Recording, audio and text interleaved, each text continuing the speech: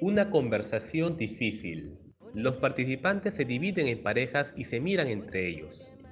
Los participantes A les cuentan a los participantes B un problema personal que poseen y no saben cómo resolverlo. El participante B solo debe escuchar. Luego de un determinado tiempo, el participante B podrá validar con el participante A lo que escuchó. Este ejercicio ayuda a ejercitar la escucha activa, una práctica no muy común en la actualidad.